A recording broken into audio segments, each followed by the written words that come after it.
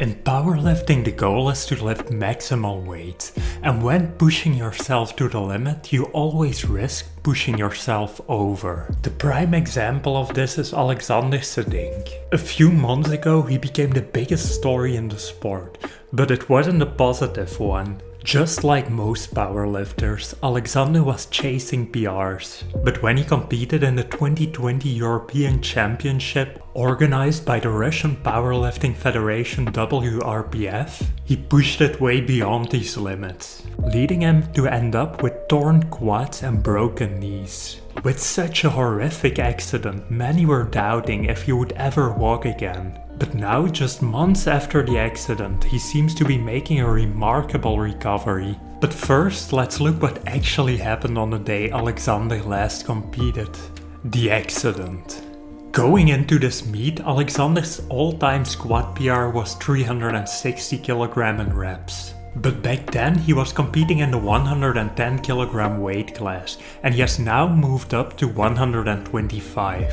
And this move up in weight meant he had made tremendous gains. He opened up with his previous max of 360 kg and he made it look effortlessly. Because of this he felt confident to make big jumps and for his second attempt he went up to 380 kg. This proved to be a good decision because he still made it look easy. But then he made his fatal mistake. For his third he took another 20 kg jump putting him 40 kilograms over his last PR. And immediately at walkout you could see something was wrong because he was very wobbly. He went for it anyway, but when he was at the bottom his knees just couldn't bear the pressure. He went to the bottom and disaster struck. And it seems that in that instant his career was cut short as he screamed out in agony. The aftermath. Two days after the accident he posted that he came out of surgery. He had two torn quads that were reattached and his left knee was broken and reconstructed.